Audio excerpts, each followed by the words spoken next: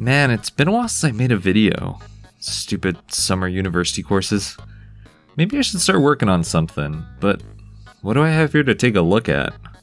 Let's see. Meh. yeah, no. Oh, uh, forget you saw that. Overdone. Too overrated. Too underrated. Hmm, maybe later. Oh, hey, Transistor. Yeah, I think I could do something with this. Do you have a game that you really love and will go back to frequently just to re experience it for whatever reason? Well, for me, that's Transistor.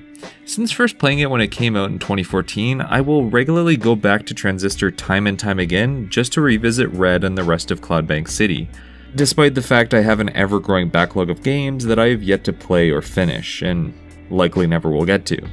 There's just something about this game, its story and presentation, that just keeps bringing me back, even after playing through it multiple times. I don't know, it just really grabs me, you know? But what is it about this game in particular that makes me like it so much? Well, let's take a look at Transistor and why you need to play it. Before we can really look at Transistor, though, I think it's important to first look at the developer behind it, Supergiant Games. Way back in the distant year of 2009, programmers Amir Rao and Gavin Simon had been working at EA's LA studio, the studio that made the Command & Conquer RTS games during the late 2000s until EA effectively killed the franchise. After working for EA for three years and becoming tired of developing under larger studios, Rao and Simon decided they wanted to make their own studio in order to make the games they wanted to. And so they quit their jobs, moved in together, and started developing what would become their first game, Bastion. And with that, Supergiant Games was born. But while a game can be made with two people, Rao and Simon only really had experience in game design and programming, and needed to hire a few more people to round out their studio talent. So, with Rao acting as the game designer and director, with Simon as the main programmer, they also brought on Greg Kasavin, who the two knew from their job at EA, to write Bastion's story, with freelance artist Jen Zee as the game's art director, and childhood friend of Rao, Darren Corbin, to compose the music. By bringing all these people on, Supergiant Games had a full team, and development of Bastion could begin in full. Closer to the end of Bastion's development, Andrew Wang was also hired full time to help with programming and porting the game to multiple systems, and Logan Cunningham was the one to provide the voice of the game's now infamous narrator. Kid's worked up quite a thirst by now, so that fountain looks real inviting. Sometimes you just need a drink. And so, after two years of development and game redesigns, this little game company was finally able to release Bastion in 2011 on Steam and Xbox Live Arcade, and quickly received mass praise from both gamers and critics. People loved it for its unique way of storytelling, mixing both narration and mise en scènes, the beautiful art direction, and stellar soundtrack. It felt like a fresh type of game, especially considering this was at the time of the shooter apocalypse of 2011, where everything being released by AAA studios was some type of online shooter. And something like Bastion coming from such a small indie team was rather impressive for the time, sitting along the likes of indie darlings like Braid and Limbo. For those of you unfamiliar, Bastion tells the story of a small boy in a world that's falling apart after an unexplained calamity occurs, and you need to collect pieces of the Bastion in hopes of fixing it. Exploring this world feels like watching a story unfold because you literally are. The levels form as you go through them and kill everything you run into, while the stranger narrates the plot as well as exposits about the world itself. And then he falls to his death. I'm just fooling. Despite the weird visual perspective issues that would occasionally happen due to the isometric viewpoint, Bastion blended both its story and gameplay seamlessly, all the while maintaining the Western fantasy theme to its music and art style. Unlike where huge studio games like Assassin's Creed can never be attributed to any one person due to how the development teams are made of 100 plus people, and feel like they're designed by committee because of it, every part of Bastion can be attributed to an individual, whether it be Rao's level design, Simon's programming, Kasavin's writing, Zee's art, or Korb's music. And it's all the better for it. The game wouldn't be what it is without all these people's skills coming together, and feels very personal because of it, like someone really wanted to make this thing and not just because the publisher said they had to. Plus, it's due to Bastion's success that Supergiant Games could start work on their next project, Transistor. Now we get to the whole point of this thing. What is it about Transistor that is so good that I wanted to do an entire video about it?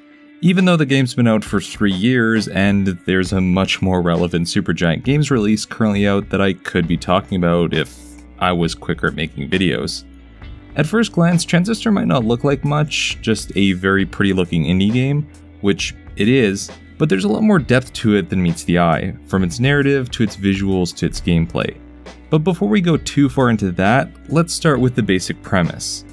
Transistor opens on this beautifully rendered piece of art that appears to be just a loading screen while the game starts up. Until you press a button while waiting and the big blue titular transistor currently sitting in someone's chest cavity begins to talk to you. Hey, Red. We're not gonna get away with this, are we? After this, you are then thrown into the story in media res style as Red, a club singer in the city of Cloudbank who has lost her voice after being attacked. And once you pull the transistor currently sheathed inside this unknown person, you're left to find out what has happened and why these things called the Process are trying to murder you and seemingly consume the city along with everyone else. For some, the beginning of Transistor may be confusing, as you're just tossed right into the middle of it without any pretense on who or where you are, or why you should even care. But I think this type of start works for the betterment of the game, at least from a tonal perspective. The first hour focuses on establishing the tone of the game and letting the player get accustomed to the controls, and doesn't bog you down with a lot of exposition and cutscenes. This is something that Supergiant did with Bastion as well, wanting the exploration to feel much more organic. Before meeting the first boss at the end of the first act, you are given a brief scene slash panoramic art piece to explain what happened to Red and how you got where you were, but the confusion the player has at the beginning and throughout the rest of the game nicely echoes the main characters and their attempt to figure out why this is all happening. In keeping with the neo-noir theme of the game, a lot of the world building and plot is instead conveyed via the Private Eye-esque monologue spoken by the voice trapped in the transistor, provided again by Logan Cunningham. Deserted.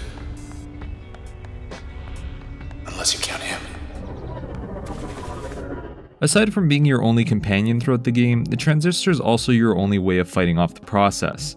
As you progress through the game, the transistor can absorb data and turn it into functions, each with their own specific abilities, like sending out longer range projectiles or summoning your own doggo to help you. Functions do go beyond just basic attack abilities though, as they can either be assigned as upgrades to another function or as a passive buff to Red herself, meaning that you can add effects like adding a bounce to a projectile or making your doggo more sturdy though you are limited by how much memory the transistor has and how many slots you have open, so you have to be smart about how you assign all your functions. Fitting with Rao and Simon's history of designing RTS games, the actual moment to moment gameplay of Transistor combines action RPG mechanics with real time strategy. You see, every enemy encounter is restricted to a set area that you are then stuck in until you beat all the enemies in that section. This restriction is where you have to be more strategic about how you approach these encounters because while you have the means to fight the process, most of your attacks have a very slow and committed windup, and many of the process move on you faster than Twitter on a new meme. So to compensate, there's the turn mechanic, which freezes time so that you can strategize, plan out your attack, and unleash it in one big flurry of effects. While it might not be apparent, this is where the RTS influence comes in, as it shifts the gameplay from a regular hack and slash RPG to a more strategic focus, comparing numbers and finding the best places to lay out attacks for optimum effects. The downside to using turn though is that after you use it, you're left completely open to attacks until the action gauge refills, so there is some method to using it. Basically, either kill everything in that turn, or back down and hide like a coward until you can use your functions again. By approaching gameplay in this way, the game feels much more involved and experimental than Bastion was, as it lets you play around a lot more with how you deal with encounters, and feels like your choices in how you arrange the functions and use them are an active part of your long term success.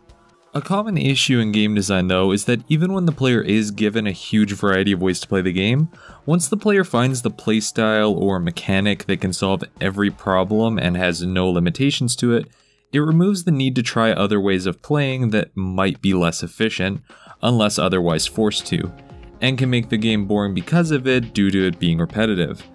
This problem isn't relevant to every game and player, hashtag not all players, but it is common enough that Rao and the other designers at Supergiant Games were thinking about it when making Transistor, and wanted to avoid players from getting too reliant on just using one or two functions, but didn't want to hamper their enjoyment by forcing them to use random skills or actively taking away the ones they wanted to use. With this in mind, the game was originally going to have more of a card focus, similar to something like Magic the Gathering, where the player knows what's in their deck but don't know how they will draw, meaning there would have been a lot of focus on improvisation, though the designers couldn't get the need to shuffle cards to blend naturally with the linear narrative that had already been written. Instead, with the finished version of Transistor, the designers gave the player 16 different functions in the game to mix and match as they wanted and find different ways to use them. This also proved to be somewhat counterintuitive to the previously mentioned problem though, because if there's no incentive to try new combinations, many players could simply rely on a few of the basic ones all the way through, or spam the ones with the highest damage output relentlessly, making the game into another mediocre action RPG. So, two elements were added to the gameplay that are meant to encourage players to try other arrangements of functions. Firstly, when losing all of your health, instead of getting a you died screen, you lose your most upgraded function for a few enemy encounters. This means you have to adapt and try using different functions while the ones you lost cool down. While some prefer familiarity, sticking to the things they know best, the intention of this was for you to try other functions and find creative ways to combine them. You can still have your favorite function that you enjoy powering up for maximum potential, though this can be taken away from you during important fights with bosses or powerful new process, forcing you to try to adapt and figuring out a way to win without them. So it's almost better to have a more well-rounded group of functions that you use and being open to trying new ones. Aside from this, as well as adding in your traditional challenge rooms that give you different combat scenarios, the other way the designers try to get you to use different combinations of functions is to use the game's lore as an added incentive. Basically, each function is the trace data of a citizen of Cloudbank, all the information about their backstory and what they were doing prior to being absorbed into the transistor. A lot of these act as pieces to the overall plot, but they're locked away when you first get them and the only way to get access to each citizen's complete story is to use their function in the three different ways that you can use them. So say if you only use Crash as an active function and never attempt to use it as an upgrade to another one, you will never get Red's completed backstory. Now, this doesn't mean the player has to do anything or use functions they don't want to, and can simply stick with the functions they like best, but it is an added bonus for those willing to try other ways of playing. In finding ways that incentivize experimentation, the designers gave the gameplay a lot of depth that is just asking for exploration, and rewards those players that find clever ways to mix and match. But a game is more than just its gameplay functions, despite what some may say. Now let's take a look at our style and main character with the transistor Red. Earlier I stated that Red is a club singer who has lost her voice, and I know you're likely thinking being mute puts her into the standard silent protagonist category that is common in games. A lot of the time, a silent protagonist is usually thought of as being a blank slate in the game's narrative, so that they can act as the player's avatar in the story, which is often the case, though this doesn't mean that a silent protagonist can't be their own character as well. A character doesn't need a voice to have a personality, and can still convey one through their actions or reactions. So, despite being mute, Red is not void of her own personality, and in some ways, being mute almost highlights it. While you dictate what she does in combat and what she votes for when at certain terminals, a distinct personality does shine through, if only slightly. A lot of Red's characterization comes through in her interactions with the Transistor and the messages she leaves at terminals throughout Cloudbank. For example, just look at the transistor's response after they leave Red's apartment. Locked yourself out. How are you gonna. Oh.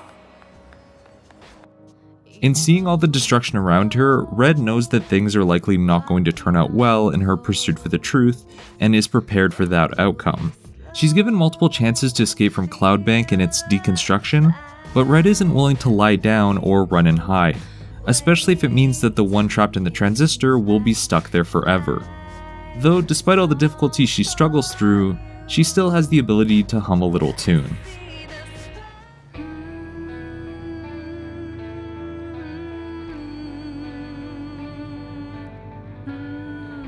But the most telling part of Red's personality actually shows through her relationship with the transistor, or more specifically, the one trapped in it.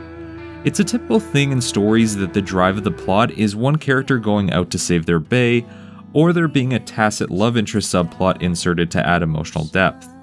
Now, don't get me wrong, I have no trouble with the lovey dovey stuff, but it's interesting that Transistor instead focuses on an already established relationship, and the main thrust of the story is the two of them trying to stay together during this catastrophe.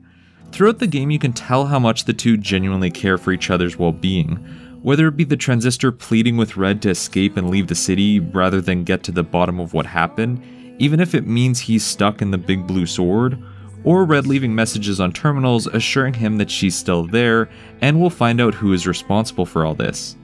I mean, she even lovingly holds the transistor after each battle. Like, how cute is that? In how the game presents these two and their connection, it makes you want to get to the end of the game not to beat some final big bad and save the world, but to see what will happen to the two of them, building up to the bittersweet ending of the story that may or may not have made me tear up when I first went through it. The journey that is shared between Red and the Transistor while traveling through Cloudbank is almost operatic, considering its themes of relationships, love, and revenge, and especially with how it blends it all together through its music. Much like with Bastion, the music of Transistor is integral to the overall experience of the game. Now, I'm one of those people who typically listens to podcasts or other things when playing games, especially big open world RPGs where exploration and wandering are the main focus. But with Transistor, I will regularly turn everything else off when playing it, because Darren Korb's music is so important to the game's tone and how it tells its story that it's pretty much vital to it, which isn't by accident. Korb stated in an interview that a main consideration from our point of view with any game is using audio to deepen the immersion and reinforce the atmosphere and tone of the game as best we can.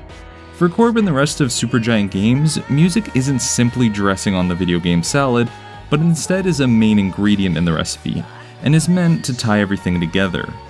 For example, fitting that Red is a club singer, the only time we actually hear her voice is in the songs that are played in the background of the story, and the lyrics of these pieces even convey more of Red's personality if you listen to them carefully.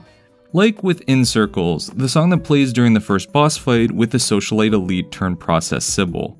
The lyrics allude to her and Red's complicated relationship prior to the events of the game, the links that Sybil went through to get to the singer, and how Red is going to put the social butterfly out of her misery.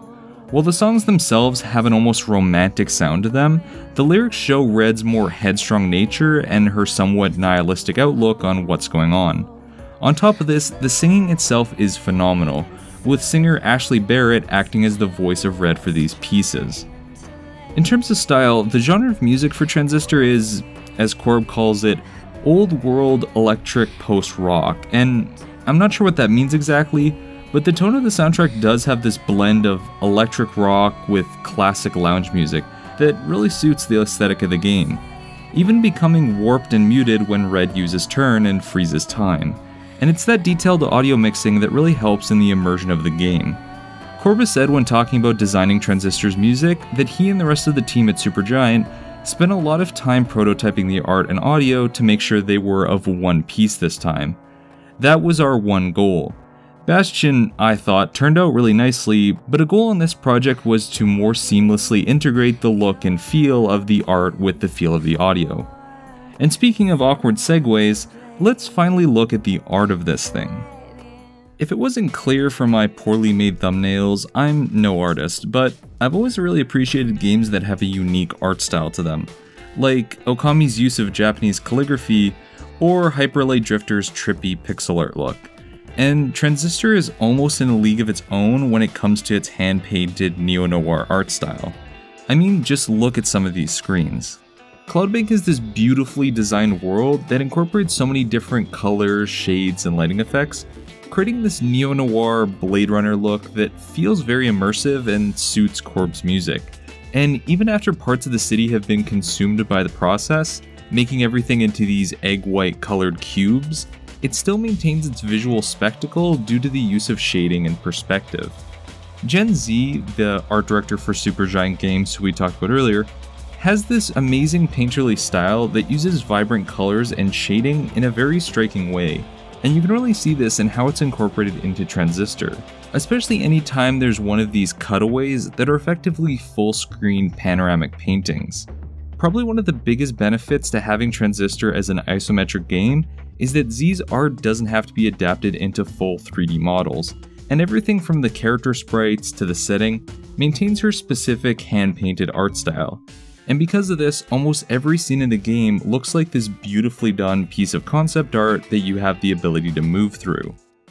Though, despite all my salivating, Transistor isn't without its faults. While the turn mechanic is very inventive, one issue that you need to learn about when playing it is that it doesn't take into account how enemies will move during your attacks. So you may whiff at times because the attack at the start of the chain moved the position of the process, thus throwing your whole plan out of whack and pretty much voiding the whole point of using turn. Also, this game is not designed for having a lot of moving sprites at one time. It can handle having many sprites in the background and foreground as they're just moving images, but once there's a lot of moving pieces on screen with red, the frame rate takes a major hit, cutting down to 2 to 3 frames per second, and making me think that it was actually going to crash the system. Now, it is very uncommon to have a lot of things on the screen at one moment, only happening under very certain circumstances, but it shows that this game wasn't designed with huge battles in mind. Lastly, Transistor is only about 6 to 8 hours long.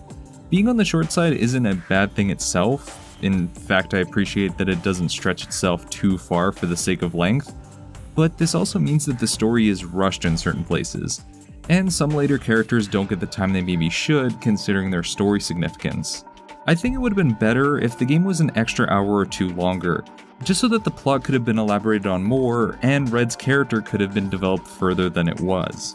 But regardless of its faults, Transistor is still an amazing and unique game that I really wish there was more of. It's clear that everyone at Supergiant Games are incredibly passionate about their craft, and it shows through pretty much every aspect of this game. All of these things that I've spent the last 20 minutes gushing over make Transistor something that I think people should really check out, hence the point of this video. And it might not be for everyone, but for those of you that this is for, you will likely really love it. And remember, When everything changes, nothing changes. Anyway, thanks for listening to me ramble for so long, it's much appreciated. And apologies for the drought of content on this channel. As I alluded to earlier, summer university has kept me fairly busy. But I do have some things planned for videos in the very near future, so keep an eye out for new stuff. If you want to keep up to date on that and make sure you don't miss it, you can always subscribe to the channel if you haven't already. And if you want to see more right now, you can check out some of my older videos here, like why you need to play Nier Automata, or my DMC series retrospective. Thanks again for watching, and I'll see you next time.